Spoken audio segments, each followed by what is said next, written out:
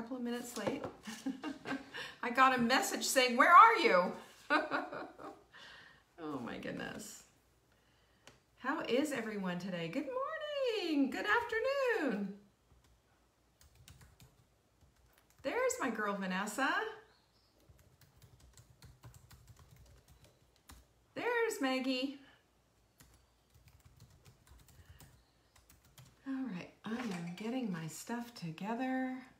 Hello, Eileen and Corliss. How are my lovelies? How are you? Hi, Pam, Pamela, Carol Ann is in the house. Here they come. Just want to let you know, four o'clock today for my cooking time is also going to be tea time and Marla's going to be here.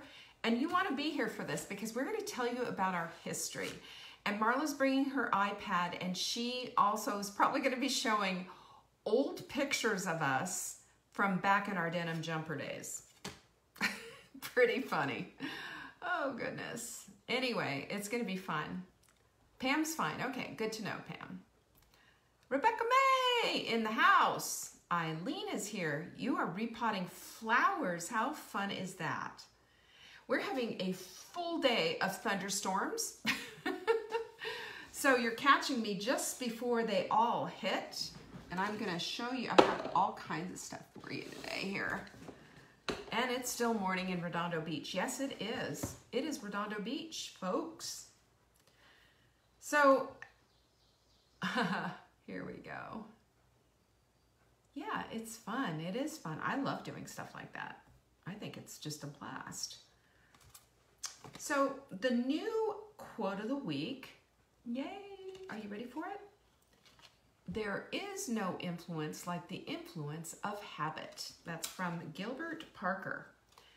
And you know, this is what has kind of spurred me on to thinking about today um, and what about what is it that motivates us? You know, what is the thing? And what what about actions versus inactions versus all the things? Because we get wrapped up in all that stuff. Right? And we're going to talk about all that. We are going to talk about that today. That's what we're going to do. So, are, are you sharing this, by the way? I love that quote. I think it's such a good quote. Yes. Share this video. Um, please, if you would. Um, share this video. Bring people in. Let's Let's get people excited about what it is that we're doing as a community. We have an incredible, an incredibly vibrant community. I don't know about you, but I feel so blessed every single day. Hi, Diane. You know, there are people out there who are extraordinarily lonely. They've been in this whole isolation bubble for months now. And this is how we can reach out. This is how we connect. Connect I like connection. Connection makes me feel like a human being. and that's how we're wired. That's what's, excuse me, that's what's inside of us. You know, at least today I'm not starting off the show with a bunch of sneezing. Although the rain helped yesterday and got rid of a lot of that pollen. I don't know about you, but we get pollen around here in North Carolina. And I enjoy being on the top of my mountain and I enjoy looking out and having that calm and that peace every day. But I also like the calm and the peace of my home.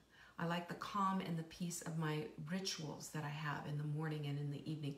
I like the calm and the peace that taking care of myself brings. Have you noticed that? All of these things add up. They all add up to a life that you want to live. That's pretty cool. But we're also, you know, we have to start looking at the very base level of our communities because community is everything. Without community, we feel like, you know, we're just alone, hermits. We're not meant to be that. On June 7th, June 8th, we start our sprint. Gosh, can you believe where it's almost there? It's free. You can find it at savingdinner.com. It's called the Hot Mess Sprint, and it's seven days of an anti inflammatory approach to getting rid of the inflammation and feeling better, and it's free.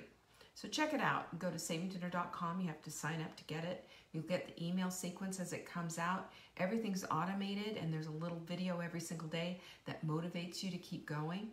We've seen so many great stories. We have like 2,600 people who've been through this program and they love it. And it's free. We also have lots and lots of supplements, you guys, um, in our Digestzymes, which I highly recommend if you have any kind of digestive anything going on. These will help you tremendously. Um, this is your ships free promo code. So if you put this in your cart and all the other things that you want, and you type in ships free and the promo code, all one word, guess what? You don't pay shipping. I do. I pay it for you. So check it out. You spend $200, you get a mindful mug for free and a sweet little note from me. This is what it looks like. That'll be from me in the mail. And one more thing, don't forget, we have the Body Clutter Wise Women supplements, all four of them, the core four. We sent an email out today and telling you all about them. It was long, long email, you know, and I'm not going to apologize for that, but I wanted to educate you about why these things are so important. So check it out, and if you're not getting our emails, go to savingdinner.com and you can get it. All right. So don't forget, today at 4 p.m., Marla Cilley will be here in my house. And we're going to be telling you our history and sharing some funny stories. And, you know, we've been friends for 20 years, so we've got some good stuff. we've got some good stuff to dish up. Um, that's at 4 p.m. today, and there will be no tea time at 3. Tea time will be here at 4. So we're doing a combo, you know, Memorial Day thingy. That's what I have to say to you about that. Don't forget, also, Dinner Answers is $7 a month. That's pandemic pricing. Prices will go back up once we, are we ever going to get through this pandemic, y'all? I hope so. So let me, I've got some um, things I want to discuss I think are going to be super helpful for you because one of the things that I hear all the time from my coaching clients and from people who are in my groups is why do I not do the things that I want to do? You know, it's we think that we want to do all these things and then it's time to go do them and we don't do them. Have you ever been in that place?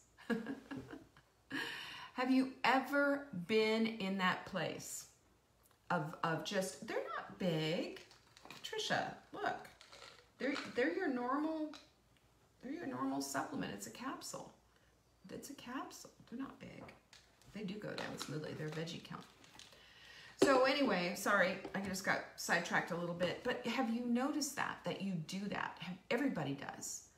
And we think to ourselves, why do I do the very thing that I don't want to do and I don't do the thing that I do want to do? What is it? Where, where's the motivation? And when does the motivation kind of trigger? And get us to the place where we finally get over that hump? Well, I don't have the answers for that. Ta-da! I'm done. No, I really, I sincerely do not have the answers for that. If I, if if I had the answers for that, I everyone would be have not have a weight problem and we'd all be rich, wouldn't we? It's true. If we didn't have that problem, we'd all have. I mean, seriously, you know that would be that would be the full stop. We're done. but we all have something that keeps us locked in to inaction or taking the wrong actions. And we, we get kind of stuck. And you know what the inactions are that? And I always say, really, actions are decisions, aren't they? Actions are decisions. And inactions are also decisions. They're non decisions, but they're decisions nonetheless. And what we do or don't do is to either escape or to achieve some kind of a feeling. We either want to feel better or we want to avoid pain of some sort. Isn't that the truth? Have you noticed that about yourself? And especially now, and this is why I, I keep saying, and for those of you who came, uh, you know, last, gosh, can you believe it's been over a month, when you came to um, the full bloom event, that was my whole thing. We've got to take all of this stuff that we're learning and we want in our lives and all this goodness and juicy, fun stuff that is going to make a difference in our lives and wrap it up in a great big bow of grace. Because here we are in, tr just trying to navigate through this unknown territory. And we all need that kind of grace. Oh my gosh, don't we need that grace? That grace is what gets us through. It's a safety net. It's loving arms, you know, it's it's a big embrace and a hug. It was it's everything. And I will tell you this, and this this much I know for sure. That just doing one thing is enough. Just doing one thing is enough. And isn't that so good? So if you make your week, you know, a hydration week that you're going to focus on that habit and just let the other stuff kind of go for right now, not beat yourself up. Keep it, you know, on the kind of open handed way and let yourself know hey, we can handle this. We can. We can take care of this in a, in a week or in another week or a month or whatever. It's not the end of the world. That's what we've got to do for ourselves. When we do that, then we're, we're able to get, you know, we're able to, you know, get through on the other side. But we're talking about actions versus inactions. And what is what is it? You know, what is it that we need to do in order to to get there? Um, how do we how do we avoid you know gain the pleasure and avoid the pain? You know what what what can we do with that? Well, I have some ideas about that, as you can well imagine, and you know I've got a set up for different things like that. And I'm actually working on something new that I'm calling my ha the habit stack, and I'll, I'll tell you all about that at a later date. I'm probably going to do maybe even do like a small webinar or something on it. I don't know, but there's a lot of stuff that I'm working on personally for myself that I'm finding to be really helpful. But the thing that we that we have to look at is what is the motivation behind inaction versus taking action. And that is, like I said, it is the avoidance of pain. There's pain involved. Well, that means that I'm going to have to do this instead. That means that I have to create this new habit. And your brain is rebelling the entire time because your brain is saying, let's stay safe. Let's keep doing the things that we always do. Let's do this. Let's do that. You know, that's exactly what it is, isn't it? Your brain is always seeking to keep you safe. Always. No if, ands, or buts about it. So we have to look at the focus on pain or pleasure. And we also have to tell our brain that this is okay, that you can start collecting evidence for why this is a good thing to do, right? So, for example, the gym. And for me, this is a funny thing because for me, there's a whole representation of why go to the gym versus doing it at home?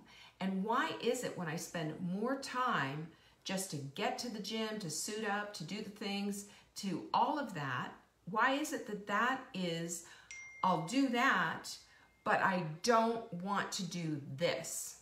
Why is that? Why are we in, why are we in that place, right? And then the other thing is you know so we understand that the other thing is is that our brain wants to collect evidence to support what it, it what it thinks it knows and what it thinks it knows from the most primitive part is the avoidance of pain. If we do this, this is going to cause pain.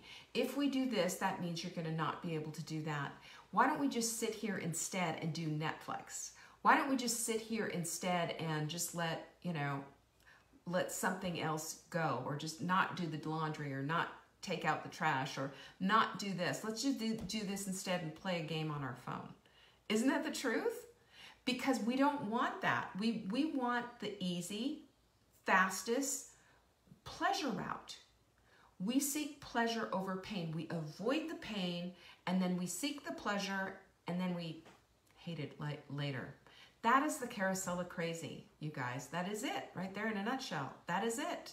We get stuck on the carousel of crazy. The carousel of crazy isn't just a diet mentality, so to speak, even though we can use that over and over again for how our diet lives have gone, you know, up and down with the weight, around and around going nowhere, looking for a new guru, trying that one on, trying this one, trying another crazy diet, gaining, losing, gaining, losing. I mean, you know the whole crazy thing. That's the carousel of crazy. We all do it. But we do it with other areas of our lives as well. We do it because we're always seeking pleasure and trying to avoid the pain. And that's the difference between action and inaction. That's the difference between a decision and an in, and no decision. And what you know, because you've heard me talk about this a million times, no decision is a decision just as much as, as a decision is. So what we have to do is we have to do and and understand this, people are going to do more to avoid pain than to seek out the pleasure, right? So the pleasure sometimes is a long it's a long process to get to the pleasure. So, for example, the cute jeans. The cute jeans is definitely a pleasure, but it takes some pain to get to those cute jeans. It takes denying yourself, uh, maybe cake, you know, donuts and, and sugar and stuff, um, working out, hydrating, you know, doing all the things. It, that's a longer process. The shorter term process is to say, forget that. I don't want to do it. Just this once, I'm going to eat the fill in the blank. Just this once, I'm not going to go to the gym. Just this once, or not today, maybe tomorrow, and this and this is how it goes, and it becomes a long chain of avoidance, a long chain of avoiding the pain, and that is the motivation behind the inaction, is that we just don't want the pain.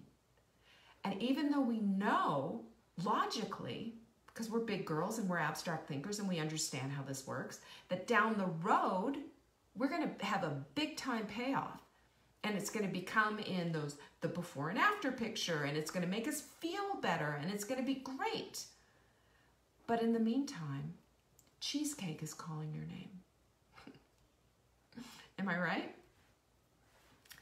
But you know, the thing that we have to look at is that this is the perception of pain. It's not the truth. It's the perception of pain. It's the perception that your brain has about the pain. Really. And you know this because if you've done the sprint with me or if you're in one of my groups or whatever, you know what the payoff is for even short term for doing the right thing. We all do. But our inaction is the short the shortest route and even our action, you know, is the shortest route to avoidance of pain. You know what I mean. You know exactly what I'm talking about. So when we're looking at this, you know, this this survival, the, our brain's survival is to always, always avoid the pain. It prefers that. And it beats our desire to do the better thing every single time. So what we have to do is we have to manipulate our brain essentially and and check it and show us that there is a way to do this that is you know more fun, easier, not as painful and in in fact can be a habit and it can be a habit that in that becomes something that we do on a daily basis just this much just this much just the the hour goes off and we drink our water you know on the alarms on our phone. Um, the we we have the ability to switch it up at any time to do this. We just have to convince our brain that it's a safe thing to do. So what we do then is we stop this and we develop what I, I, what I'm starting to call a habit stack. And that is we have our morning and we have our evening rituals. We stack our thing our things together so that they flow nicely. And then we also can piggyback, once we've got that down, we can also piggyback other habits on that. So I've shared this before, but my habit in the morning and my part of my morning ritual is when I'm making my coffee, I race to unload the dishwasher. And as the dishwasher is unloaded, then I do a four minute workout. I'm not allowed to have the coffee until the four minute workout is done. Then I've added on the hydration. I need to have at least five gulps one, two, three, four, five, right? And if I do that, I've started the day right. If I do that, I've given myself, I've given myself everything I need. But before I even go into the kitchen, I do a 15 minute meditation right? So that's that's the that's the whole thing. Then into the kitchen, then back onto the couch, and I have my reading, I've got my journal, I've got all my stuff that I do. And it's easier to do because I am now connecting the pain of not doing it than the pain of getting it started. Do you see the difference? That's the convincing of my mind that it's more painful to say no to doing things that I know are good for me than to do them, to, than to not do them. I hope that makes sense. Anyway, that's I just wanted to share that with you. That was kind of a little bit of a an aha for me as I looked at what it is it what's the motivation behind inaction versus action and how do you take more action and there there are so many things that um, let me see if I can find that one thing that I wanted to say oh the other thing that I had for you was um, some thoughts you know your thoughts are the things that become then later become the habits like you have this thought like I want to do a four minute workout every day so what do you do you set reminders on your phone to bring it up put into your mind.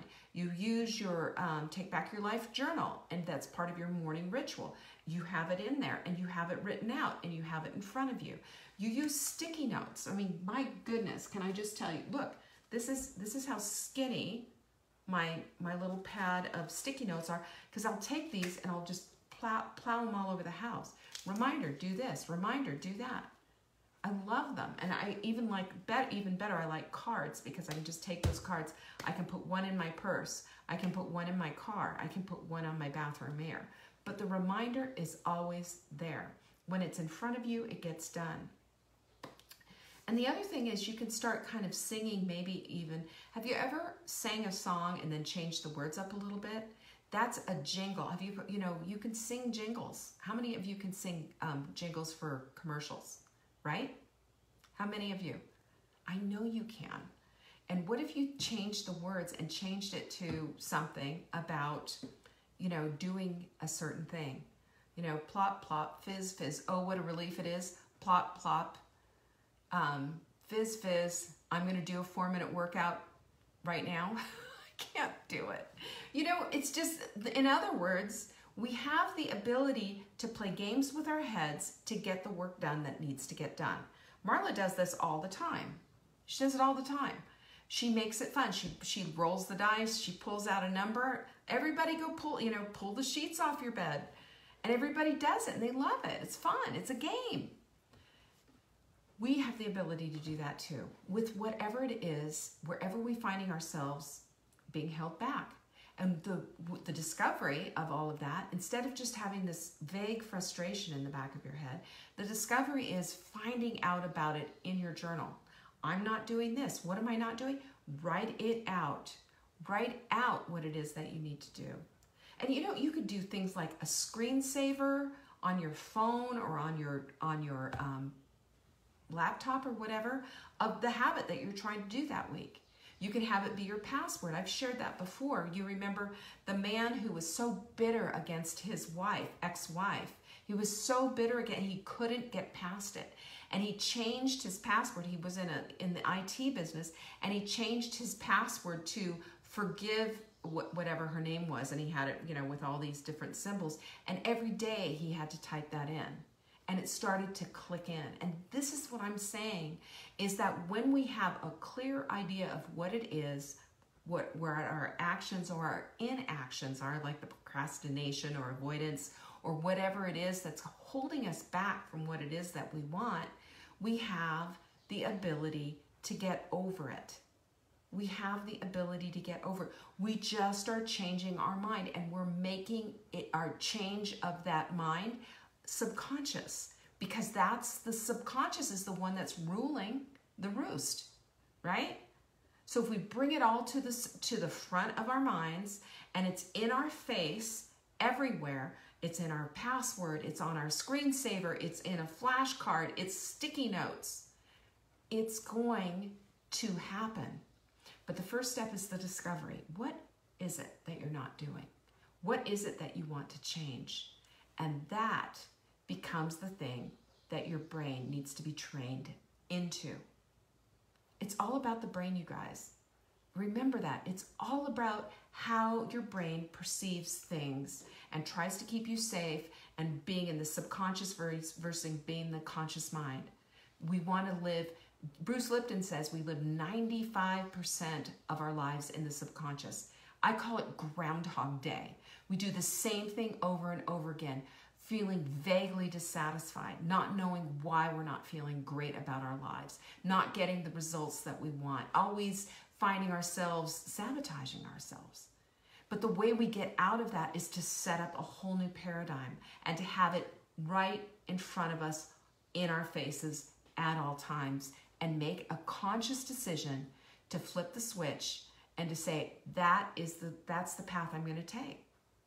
And when we do that, let me just say this, when we do that, things start to change. We're no longer living groundhog day lives. We're no longer living and doing the same things over and over again and living that insanity lifestyle of expecting a different result. We're getting results and we're taking the right actions and we're stopping with the inactions because there it is in our face showing us what it is that we need to do. And I invite you to do this. Make your own habit stack somehow, whatever it is that's going to flip the switch for you. But make your make sure that it's in front of your face. In front of your face, reminding you to change your mind, to flip the switch, to go forward. There you go. That's what I have for you on this Motivational Monday. And I'm watching this gigantic stink bug climb up the, the, the wood here. I have to go get it now because I hate them so much. He's going to have a very uh, let's just say he's going to be meeting the plumbing here shortly. I appreciate you guys. I will see you at 4 p.m. here um, as we have our tea time. Peace out, you guys. Love you all. Bye bye.